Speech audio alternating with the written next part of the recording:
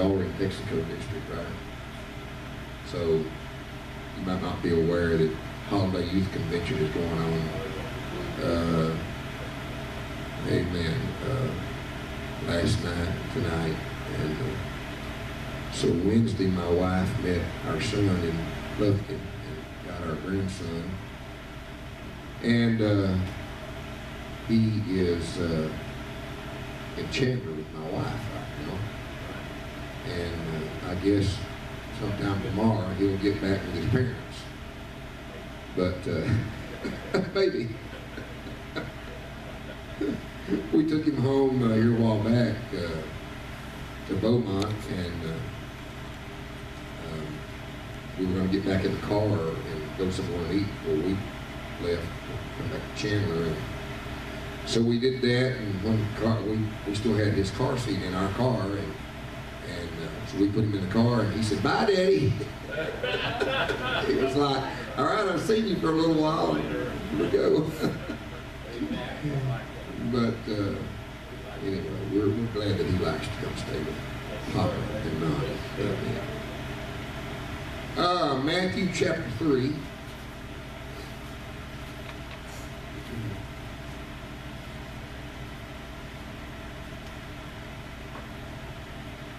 Beginning with verse number 1. In those days came John the Baptist preaching in the wilderness of Judea and saying, Repent ye, for the kingdom of heaven is at hand. And then also in Mark chapter 1,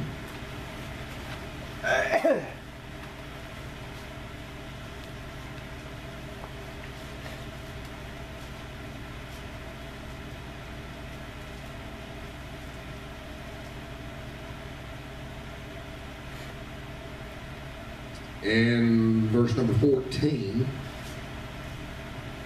Now, after that John was put in prison, Jesus came into Galilee preaching the gospel of the kingdom of God and saying, The time is fulfilled and the kingdom of God is at hand. Repent ye and believe the gospel.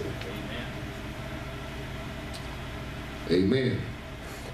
And uh, let's just pray. I'll let you be seated. God, we love you tonight. Lord, we thank you for your love and your mercy, your goodness toward us. And we thank you, God, for this privilege, Lord, that we may able to come to the house of the Lord tonight. Thank you, Lord, for the worship, the singing, the praise. And God, we thank you for your word right now. We pray, Lord, that you would enlighten us, touch us by your word tonight. I pray, God, that we would be strengthened, Lord, that we would be affected by your word. Let that anointing, God, rest upon us. I pray in the name of Jesus, we want your will to be accomplished. Amen, amen, amen. We ask it in the name of Jesus. Everybody say in Jesus' name. Hallelujah. Clap your hands to the Lord one more time.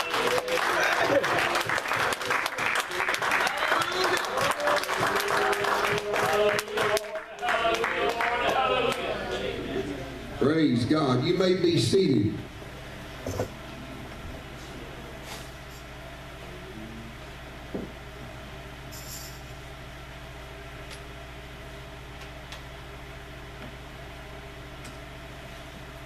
I'm going to uh, use some scriptures tonight in addition to what I read.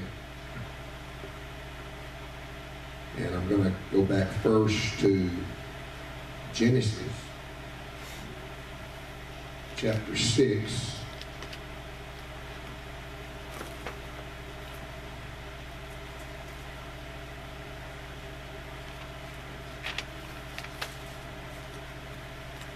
Genesis chapter 6 and verse 5.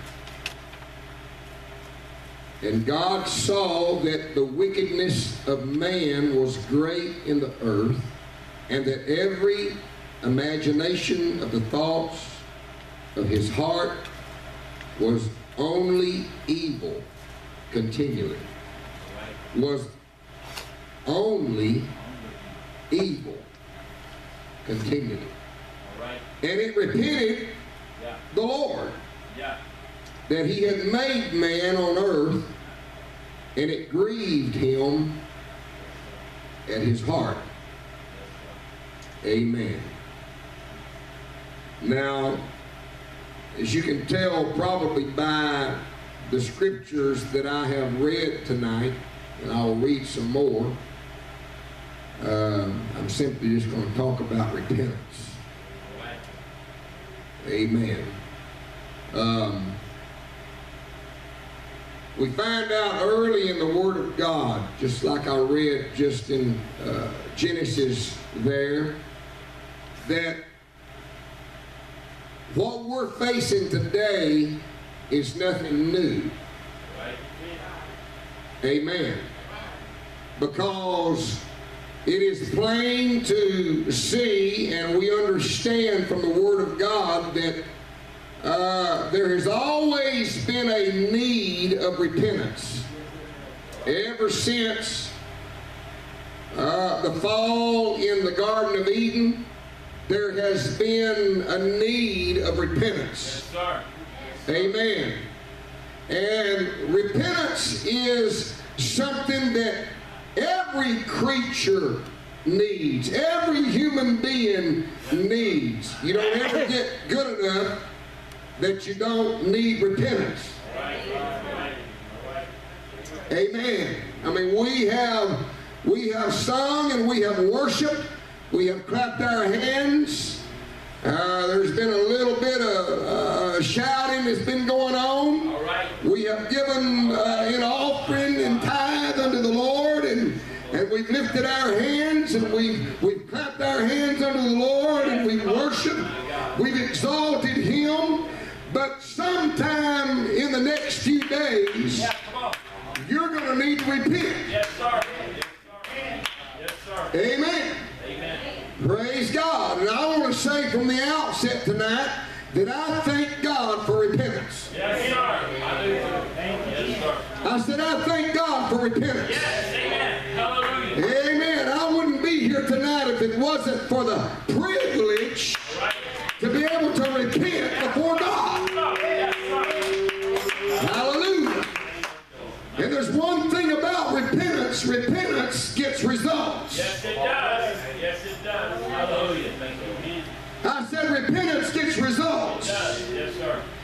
Hallelujah. And that's why everybody needs it. Yes, sir. Yes. Praise God. So, so we find out that. Uh, I mean, it's it's kind of ironic, uh, and it's a little unusual to understand that God repented All right. Come on. because when He saw His creation Right. and He saw the wickedness that was going on, Yes. And He knew that He was reaching the point Yeah. that He couldn't put up with it, All right. Come on. Yes. and God was sorry. Yeah. It repented the Lord that he had created man. Amen. That's the word. Yes. And so because of that, Yeah. God decided that he was going to destroy everything. All right. Yes, sir. He was going to wipe it all off. Yeah. I don't know if he even had intentions of starting over. All right. Yeah. The only verse that we have in the Word of God that, that points in the direction and the reason that we're here tonight is the verse that said, But Noah found grace in the eyes of the Lord.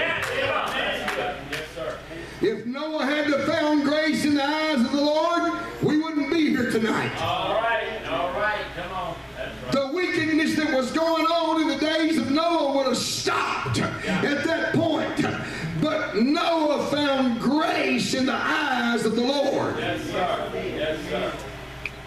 And so what did God do? God told Noah, he gave him instructions about building an ark. He told Noah that was destruction was coming upon the earth. He, he told him why he was going to do it. And he said, this is the way out. And so because Noah found grace in the eyes of the Lord, Noah began to preach righteousness. All right.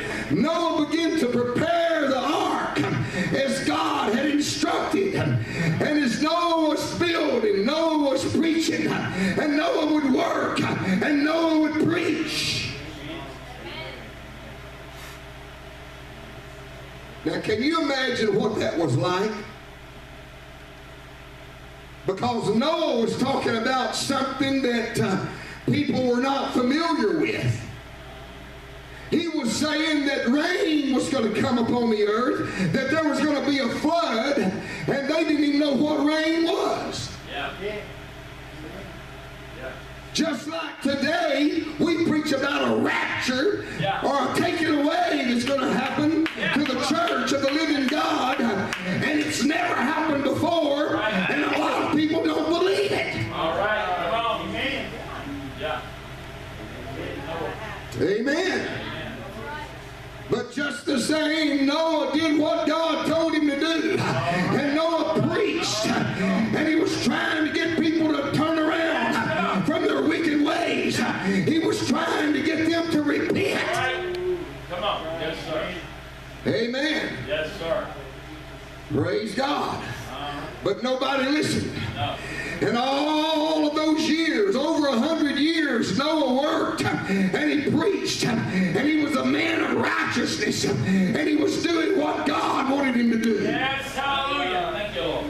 And then all of a sudden, it came the day that uh, God started, uh, by His Spirit, the animals started coming into the ark. And then, uh, when all that was done, uh, the Lord told Noah, says, get your family in the ark.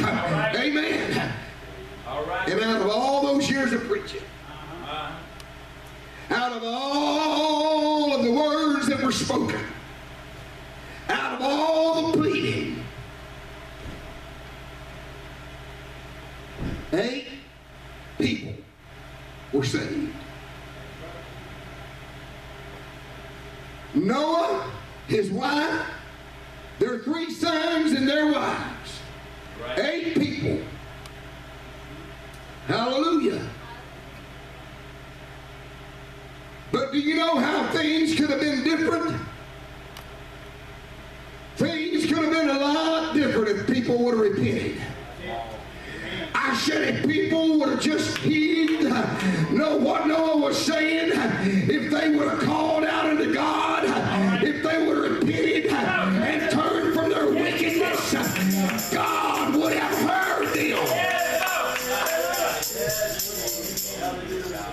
Amen. Amen. But they turned a deaf ear to it. They said, Oh, that's just a bunch of junk. We don't believe you, old man. But then when God told him to get in the ark, the scripture says that God shut the door. Yeah, yeah. Come on. Yes, sir. Yes. Amen.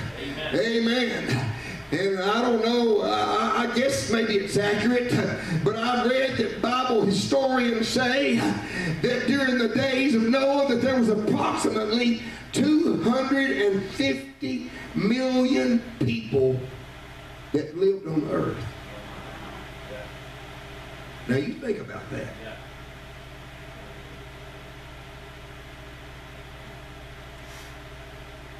The United States of America t- today is a little over 300 million people.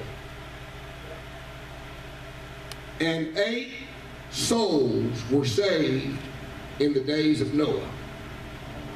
Why? Because they wouldn't repent.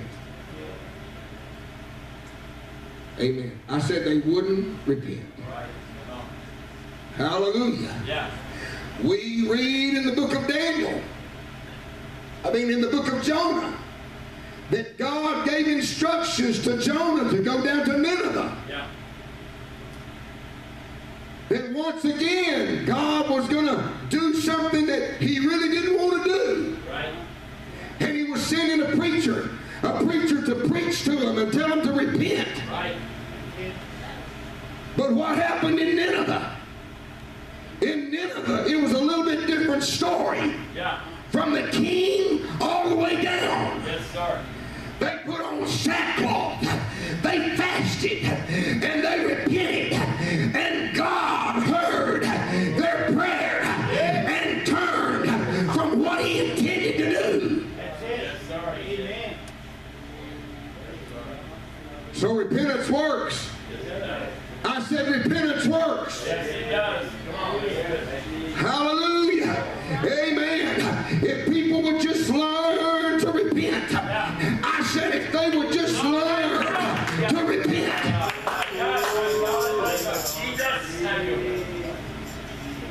Hallelujah.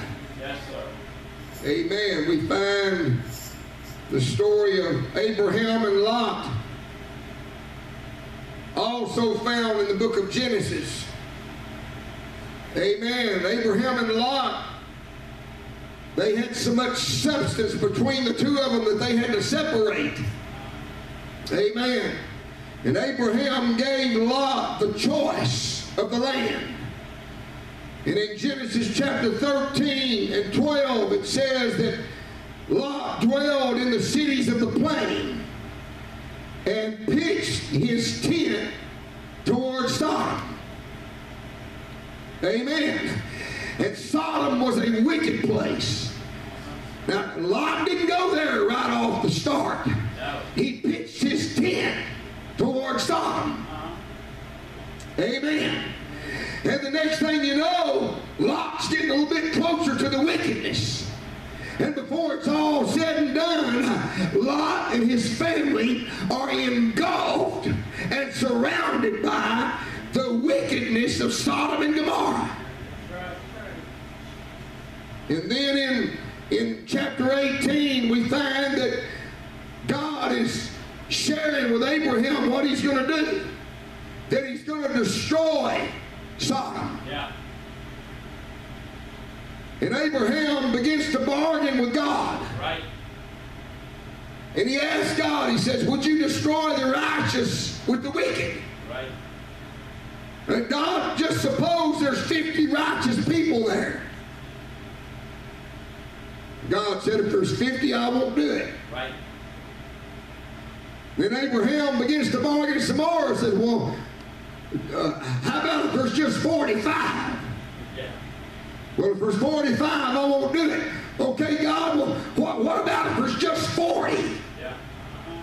And they kept on bargaining all the way to finally Abraham said, Now, God, I, I don't want you to get put out with me, but what, what about if there's just 10? And God said, for ten's sake, if there's 10 there, destroy it. But we know, we know what happened. Hallelujah. In the city of Sodom and Gomorrah, there was not 10 righteous people. Amen.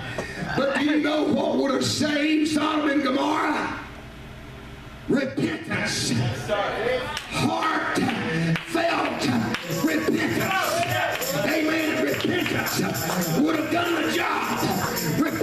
would have held off the, the, the, the destruction that God was bringing to the place. Yes, sir. Yes, sir. Amen. What is unbelievable about the about the story of Sodom and Gomorrah is the wickedness that God sent in there to get Lot and his family.